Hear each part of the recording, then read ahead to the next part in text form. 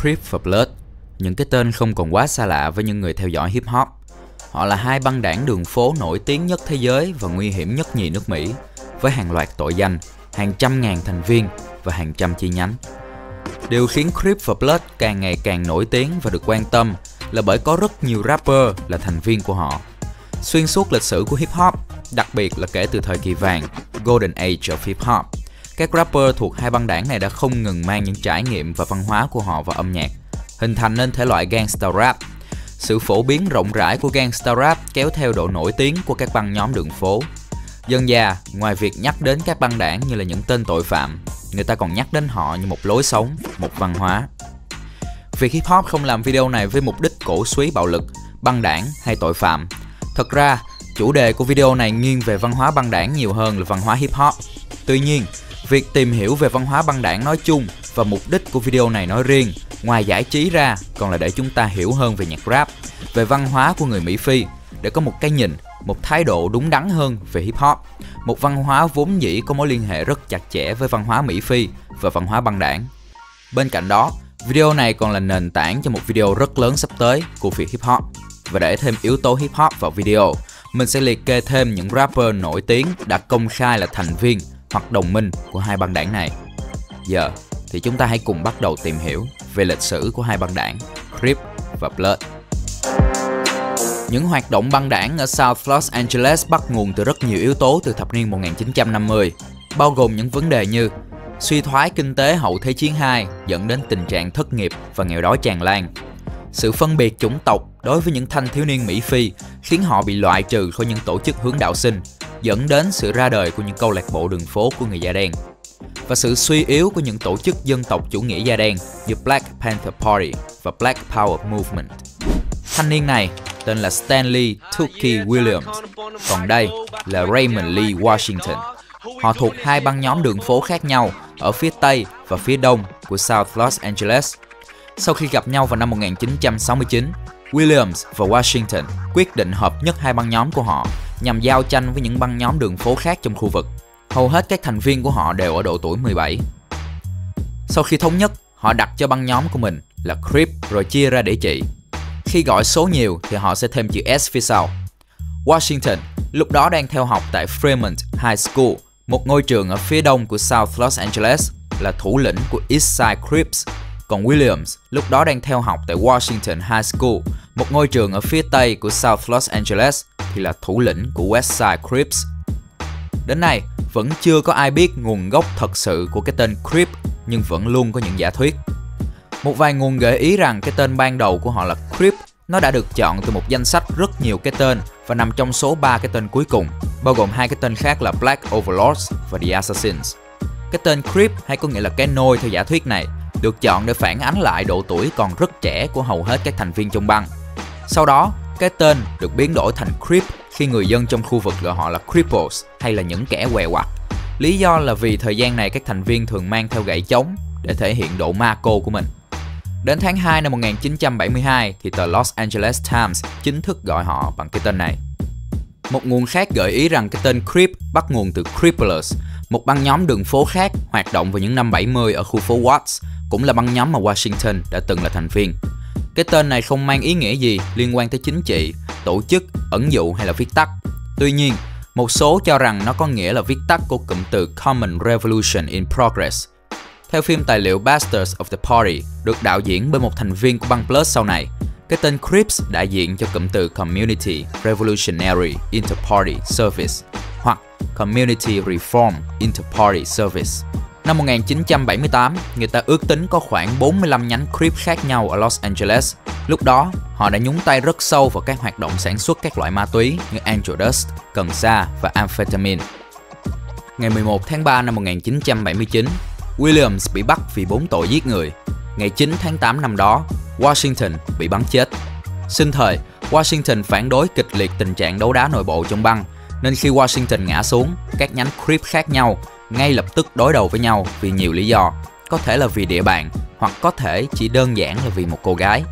Chiếc ghế lãnh đạo bị bỏ trống đã tạo cơ hội cho những cuộc hỗn chiến giữa Rolling 60s Neighborhood Crips và A-Train Gangster Crips, dẫn đến việc các băng Crip lân cận phải chọn phe và cuối cùng là cả South Los Angeles lẫn các thành phố khác biến thành một chiến trường băng đảng quy mô lớn. Trong khi đó, cũng sau cái chết của Washington, East Coast Crips và Hoover Crips cũng ngay lập tức cắt đứt mối quan hệ liên minh với nhau. Đến năm 1980, Crip lâm vào tình trạng hỗn loạn khi vừa đấu đá lẫn nhau, vừa đối đầu với băng Blood. Mọi thứ trở nên tệ hại hơn khi bước qua thập niên 80.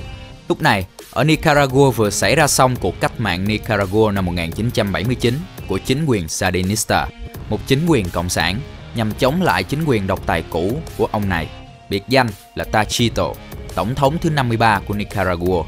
Chính vì vậy nên nhiều người thuộc chính quyền của ông đã trốn sang Hoa Kỳ và được CIA hậu thuẫn nhằm chống lại Cộng sản. Một phiến quân mang tên The Contras đã được Hoa Kỳ lập nên để chống lại chính quyền Sandinista ở Nicaragua. Để nuôi được đám phiến quân này, cả The Contras và chính quyền Hoa Kỳ đều quyết định sẽ kinh doanh một trong những mặt hàng đắt giá nhất hành tinh, ma túy. Nhưng dễ gì mà họ để Hoa Kỳ trở thành một cái ổ nghiện. Thay vào đó, họ chỉ đẩy ma túy vào những cộng đồng người da đen ở South Los Angeles, những sinh mạng mà họ đã từng không xem là con người. Sự phát triển và sức ảnh hưởng của những băng đảng đường phố ngay lập tức gia tăng vào đầu thập niên 80 khi ma túy đá xuất hiện và những nhánh Crip bắt đầu tham gia phân phối mặt hàng này. Lợi nhuận quá hấp dẫn từ cái thứ quỷ yêu này đã thôi thúc họ mở rộng thị trường sang những thành phố và những tiểu bang khác. Kết quả là số lượng thành viên của Crip gia tăng chóng mặt, khiến họ trở thành băng nhóm đường phố lớn nhất quốc gia vào cuối thập niên đó. Đến năm 1999, người ta ước tính rằng có ít nhất 600 nhánh Crip khác nhau với hơn 30.000 thành viên đang vận chuyển ma túy trên khắp Hoa Kỳ. Đến năm 2015, băng Crip có khoảng 30.000 tới 35.000 thành viên với khoảng 800 nhánh khác nhau, hoạt động trên địa bàn của 221 thành phố và 41 tiểu bang. Những tiểu bang có số lượng Crip đông đảo nhất là California, Texas, Oklahoma và Missouri. Những thành viên của họ hầu hết là người Mỹ Phi, nhưng cũng có người da trắng, người Tây Ban Nha, người châu Á và người đảo Thái Bình Dương. Họ thậm chí đã xâm lấn sang Canada ở những thành phố như Toronto hay Montreal vào đầu thập niên 90. Thậm chí, trong quân đội Hoa Kỳ, ở những quân khu lẫn chiến trường đều có sự phục vụ của Crip. Cứ như vậy, Crip tồn tại và phát triển mạnh mẽ đến tận ngày nay. Theo thời gian phát triển, Crip tạo ra nhiều nét văn hóa trong băng đảng của mình, trong đó phải kể đến màu sắc đầu tiên. Màu sắc đại diện của Crip là màu xanh dương, theo Williams kể lại trong cuốn hồi ký Blue Rage Black Redemption, chiếc khăn bandana màu xanh dương lần đầu tiên được đeo bởi một thành viên trong băng là từ một người tên Curtis Morrow, có biệt danh là Buddha, tức Đức Phật. Curtis Morrow là một trong những thành viên sáng lập của Crip. Anh thường đeo chiếc khăn bandana màu xanh dương để phối với bộ đồ Levi's màu xanh của mình. Vào ngày 23 tháng 2 năm 1973, sau khi Morrow bị bắn chết, các thành viên khác cũng đeo khăn màu xanh dương để tưởng niệm người đồng đội. Từ đó, màu này trở thành một màu gắn liền với Crip. Ngoài màu sắc, văn hóa của Crip còn bao gồm graffiti và cách đánh vần đặc trưng. Vì đối đầu với băng Blood, những Crip sẽ luôn tránh né và kỳ thị chữ B trong hầu hết các trường hợp. Khi vẽ graffiti, nếu viết chữ B, họ sẽ cho vào đó những đường gạch chéo thể hiện sự thù ghét. Còn khi đánh vần, họ thường hay thay những từ có CK thành CC. Ví dụ, thay vì viết là blog, thì họ sẽ thay chữ K ở cuối thành C. Lý do là vì CK có nghĩa viết tắt cho Creep Killer, có nghĩa là thợ săn creep. Tương tự, nhiều từ và chữ cái khác cũng bị thay thế vì những ý nghĩa mang tính biểu tượng của chúng. Creep thường gọi nhau là curse hoặc curse có hai chữ Z, có nguồn cho rằng nó xuất phát từ từ cousin hay người anh em nhưng mang ý nghĩa như gia đình.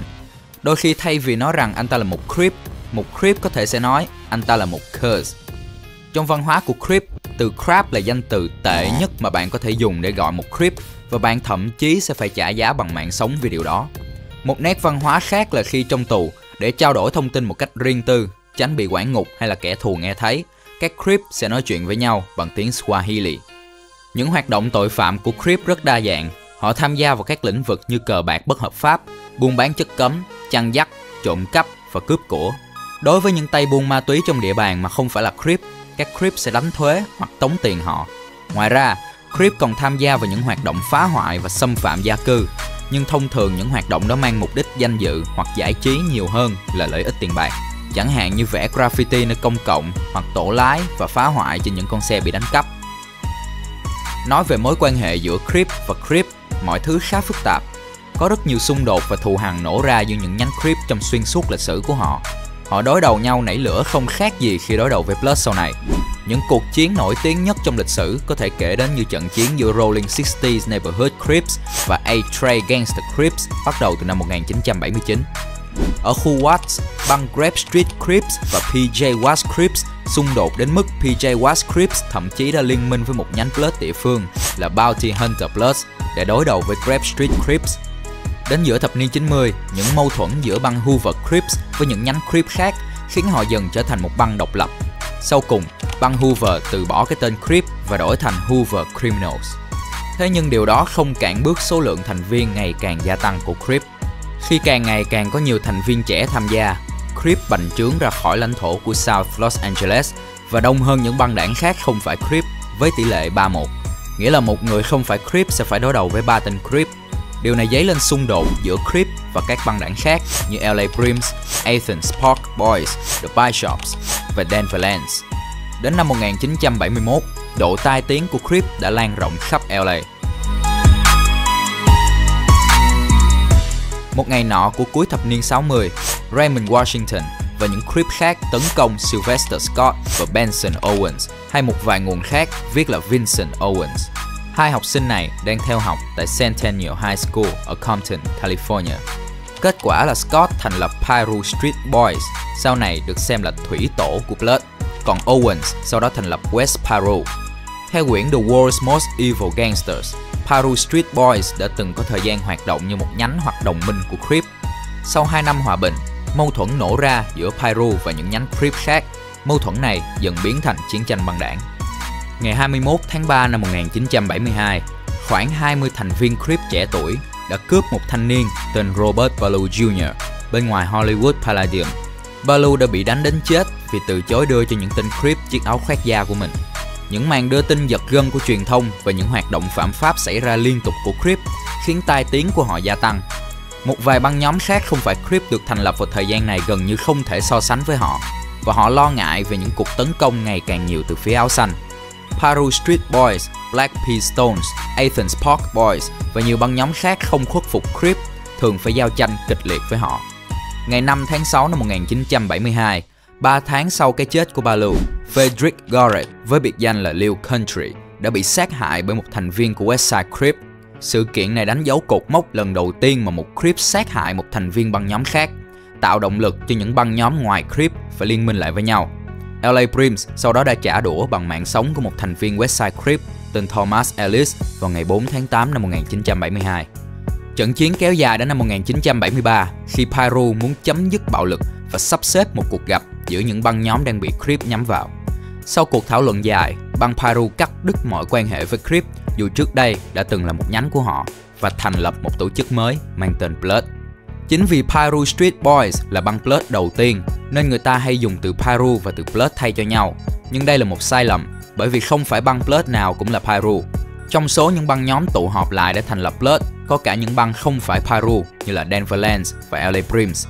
Mô hình này giống như mô hình liên đoàn vậy, với thành viên là nhiều tổ chức khác nhau về nguồn gốc lẫn truyền thống. Đến năm 1978, đã có 15 nhánh Blood được thành lập hoặc sáp nhập. Tuy vậy, mỗi Blood vẫn phải đối đầu với 3 Crip về mặt số lượng. Để bổ sung chiến lực, Blood bắt đầu gia tăng bạo lực. Trong thập niên 80, khi ma túy đá bắt đầu thâm nhập vào cộng đồng người da đen một cách mạnh mẽ, Blood cũng nhúng tay vào việc kinh doanh mặt hàng này ở Los Angeles.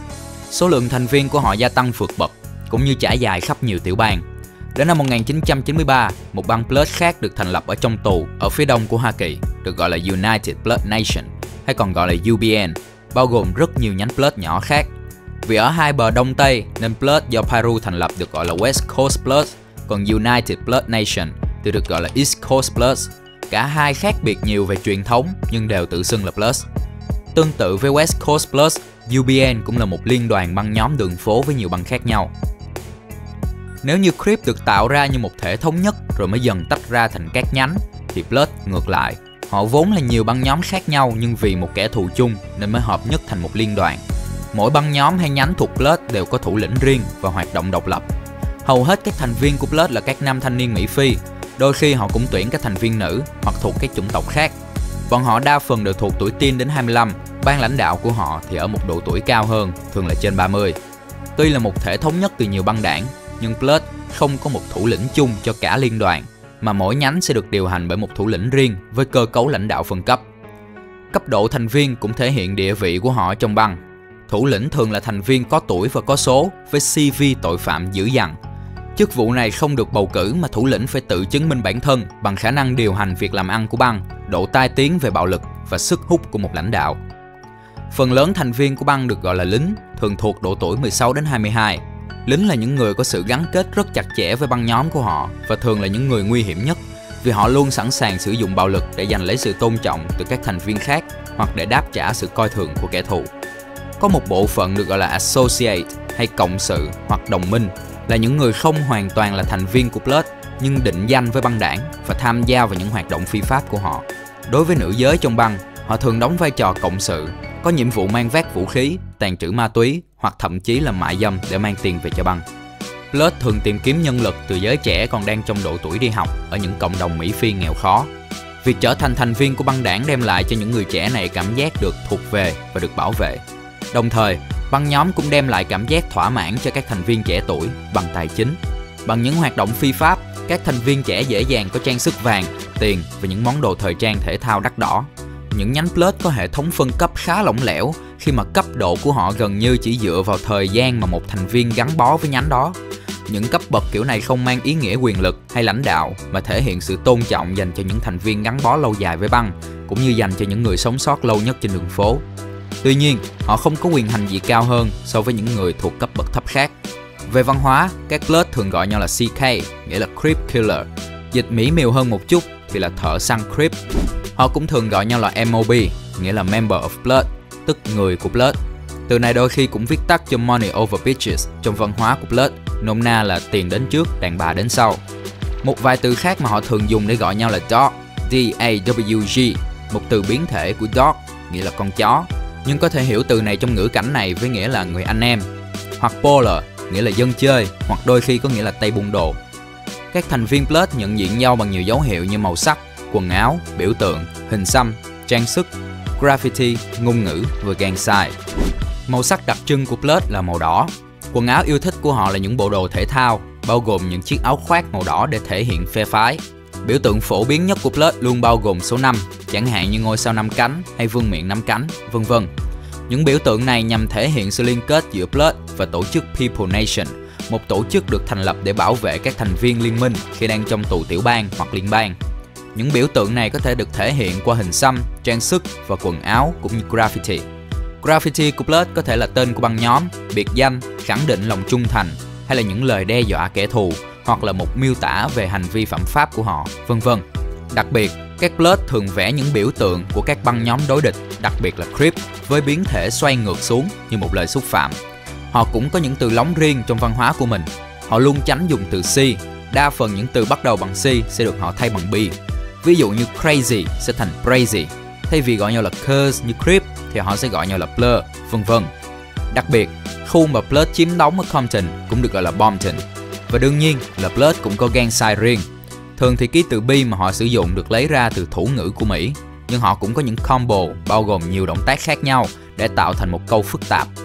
Đối với UBN, những thành viên của họ thường có biểu tượng dấu chân chó được tạo ra bằng cách chấm đầu thuốc lá đang cháy lên vai để tạo thành ba dấu chấm.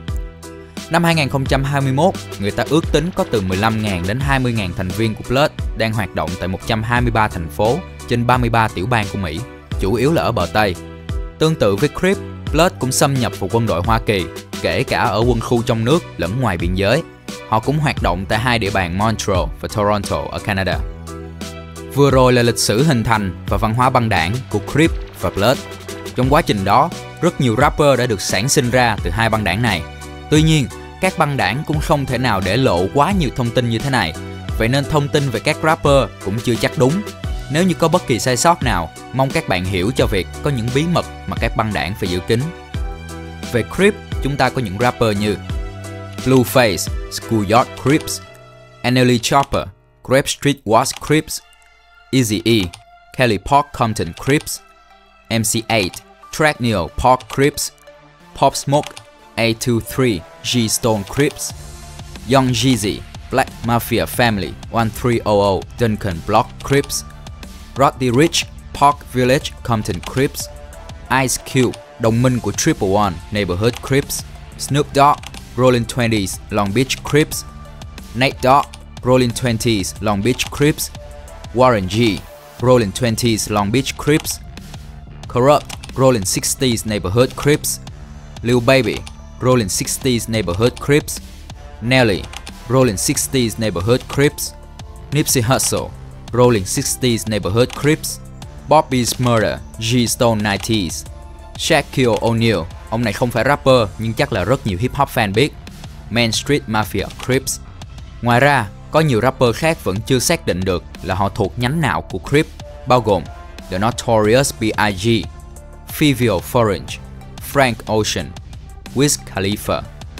Về Blood, chúng ta có những rapper như YG, Tree Top Paru, J-Rock, Bounty Hunter Blood, The Game, Set Block Paru, Ty Dolla Sign, Rolling 20s Blood, Lil Yachty, Five Nine Brim, Nick Cannon, Linkin Park Blood, 21 Savage, Sex Money Murder, YFN Lucy, ABG Blood, YNW Melly, G Shine Blood, Chris Brown, đồng minh của Fruit Town Paru, NBA Youngboy, 252 Sex Money Murder, Lil Wayne, Mob Paru, Birdman, Mob Paru, Kendrick Lamar, đồng minh của Westside Paru, Playboy Cardi, Westside Paru, Cardi B, Five Nine Primetime Brim, Nicki Minaj, Mac Balla Family, Cameron, Night Trey Gangsters, Sexy Red, Rolling 20s Blood, Trippy Red,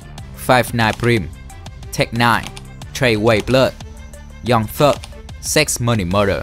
YSL của Young Thug được cho là một nhánh nữa dưới Sex Money Murder. Waka Flocka Flame, M Street Paru, Tekashi 69, Night Trey Gangster Bloods. Tuy nhiên sau những sự kiện trước đây thì không rõ liệu anh ta có còn hoạt động trong băng đảng hay không.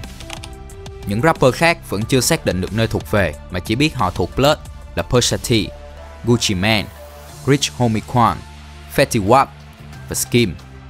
Vừa rồi là nội dung chính của video. Thực tế, video này có vẻ hơi đen tối, nhưng cộng đồng người Mỹ Phi đã nỗ lực rất nhiều trong thời gian qua. Ngày nay, các băng đảng không còn chiến tranh liên miên như ngày trước, mà họ chủ trương lý lẽ và hòa bình nhiều hơn. Nhiều thành viên của các băng đảng đã cố gắng đưa ra những giải pháp nhằm ngăn chặn bạo lực, nhưng để vấn đề được giải quyết triệt để, họ cần thời gian và một nguồn lực trợ giúp lớn hơn. Hy vọng rằng video này đã đem đến cho các bạn những thông tin và góc nhìn bổ ích, thú vị. Đừng ngại comment và để lại suy nghĩ của các bạn. Like, share và subscribe để ủng hộ cho việc hip hop. Hẹn gặp lại các bạn vào những video sau. Mình là Tâm. Peace out.